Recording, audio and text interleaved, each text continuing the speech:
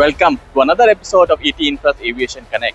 Now today we are going to showcase you one of the upcoming eVTOL products in India in development by a startup known as Sarla Aviation. One of the co-founders will highlight to us and demonstrate the scale model that is behind me and what the final product from Sarla Aviation is going to be like and how this new startup entity is trying to redefine the urban air mobility concept out here in India and what it augurs well for the urban connectivity that we desperately need in the country. Hi everyone, my name is Rakesh Gaonkar. I'm one of the founder and uh, CTO of the company. So behind me what you see is a complete electric aircraft. It's a eVTOL vertical takeoff and landing aircraft. Uh, if you can see we have um, three blades on each side that is six altogether. Uh, uh, towards the end of the wing, what you can see is a tilt rotor that helps us propel forward as well as lift uh, also. And the, those two in the middle are very specifically for lift only. And at the back, there is a pusher that actually uh, helps you propel forward basically. So it's a, it's a six seater uh, with one pilot. Uh, it's a comp so I'm part of um, a startup that is called Sarla Aviation uh, it's a one year old company. Uh, January 19th, we finished our one year actually. So, this what you see behind me is done in a very record time. Uh, we took almost one year to finish it with a very less capital of 1.5 million basically. If you compare with global standards, uh, many companies have taken four years to do that to reach this level and uh, with a 50 million of uh, capital basically, right? So, this is already kind of a DeepSeek movement actually, I would say. Um, uh, so right now there's a charging going on on the other side. You can also I'll, at later point I'll show you. Also, if you can see, it's very it's a fusion between a car and automotive and a aviation. Uh, you get in like a car, but it uh, has all the advantages of an uh, of a flying bird basically. Um, you can see here that we will use our existing infrastructure of heli helicopter basically, right?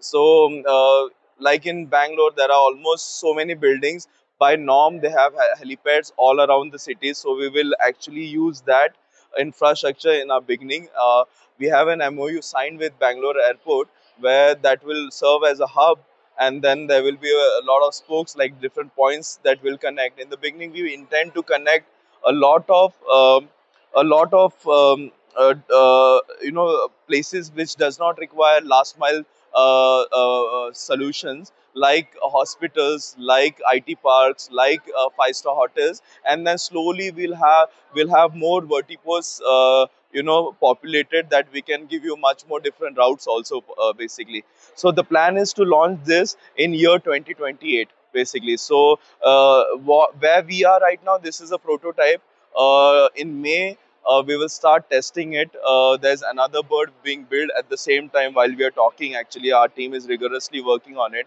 And uh, uh for the next one year, two year, or three year, we, we intend to spend a lot of time testing different iteration of this bird and also get different uh, uh, certification in place, basically. So when it comes to certification, we are already on par uh, like uh, like for example DGCA is working on the certification um, part of it. There are two uh, two drafts already uh, out from DGCA and um, there are also sandbox that they are organizing. Will soon be part of the sandbox basically. Right now the, the last year we were so much busy with trying to get this done basically. So we didn't actually get involved a lot so much but this is now from here on is our moment where we actually start uh, working together with DGCA with MOCA if you we have met uh, civil aviation minister a couple of times uh, uh, he's very impressed with our progress. He is actually uh, in his own words he wants to be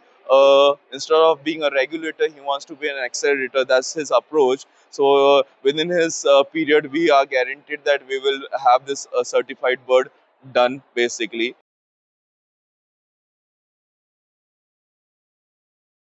I'll give you a, a complete overview how it is. This is our cockpit.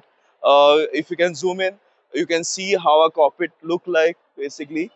Uh, so we have on the left hand side the whole navigation the basically on the right hand side uh, we have all the status of the uh, aircraft basically, uh, wherein you can see uh, how each aircraft behaves, what all different components are uh, status like motors, batteries, so that we can take a call while we are actually uh, flying it. It's all fly by wire, so you, the, this is the throttle control. The other joystick is for the uh, uh, you know the movement, nose up, nose down, left and right, yaw, and all that movement basically.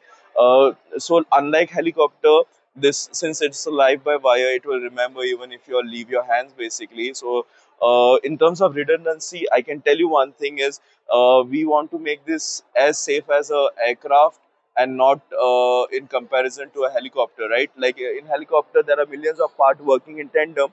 If one fails, uh, the entire thing uh, collapses basically, and it comes down uh, crashing. But whereas here we have a wing, as I said, it's a plane that has a vertical takeoff and landing capabilities. Each motor has dual motors inside, basically. So even one fails, we have enough power with the secondary motor to come down safely. Uh, even if one blade fails, also let's assume one blade uh, breaks, also we have still the rest of the propellers that can help you safely land. Uh, our battery is situated inside the wing. Uh, there are two more battery packs here and two that side, so we have total four battery packs. And uh, basically, in four battery packs also, you can see that even if there is some problem with one battery pack, uh, it will still have three other battery packs to safely land it basically. So at the redundancy level, we are most uh, safer than a helicopter, but we want to be as safe as a aircraft that you uh, ride uh, these days basically.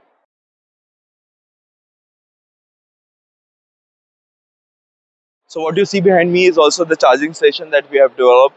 Uh, as you can see, it's currently also being powered by this charging station. The the uh, currently the battery is being charged from here basically.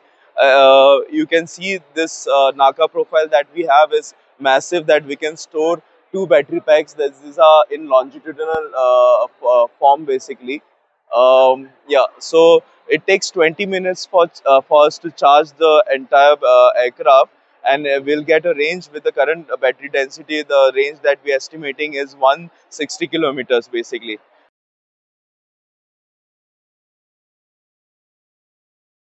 So uh, as we were speaking about the, um, um, you know, the, there is a lot of work being done by the government. Uh, we really appreciate that. Basically, we know that we'll be not behind in in terms of certification, uh, but in terms of testing, there could be a lot of things that we can do.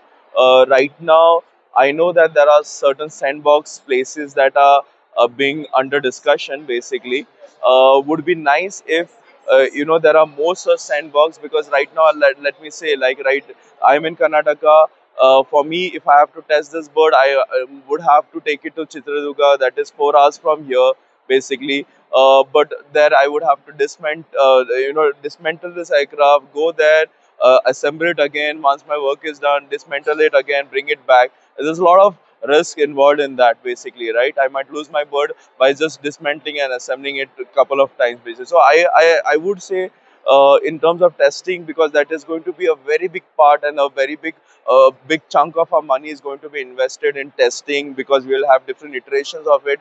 And i think in order to support that we would love government of india to kind of uh, and the other states also to see this as a viable solution going forward see this as a very big industry that is as close uh, uh, potentially will, will be as big as the automotive industry one day and employ so many people and generate so much revenue basically that there, there could be much more test sites basically in terms of PLI scheme also would be nicer. I mean, uh, there's uh, a lot of PLI scheme that is already being given to the drone manufacturing. What if that extends to this um, uh, uh, this domain also? This is going to be uh, even bigger industry than you know other industries that we are, we are giving currently. I mean, in PLI, you, you can see in automotive there's there's a huge headwind that has created because of PLI. Now we are actually a lot of adaptation happened because the price of those vehicles were very less during the initial phase of adaptation. Basically, we would love uh, those uh, schemes to be extended to this eVTOL industry as well. Basically, um, yeah, and as I said, testing is something that I am personally uh, would want to see a lot of test sites uh, what we, you know, this is a craft. We have different envelopes. We might require at least um, unhabited space. Uh, uh, what we look at is at least a three three kilometer stretch, a radius that is defined where we can take off and land whenever we wish to. A lot of uh, paperwork can be avoided so that we can do uh, ad hoc whenever we want to fly. Basically, we would love if there are zones assigned uh, where there is like a contingency zone, there is a red zone once the uh, plane goes out, it can actually uh, come back again. So we, we are looking at it. We we have people in that same field.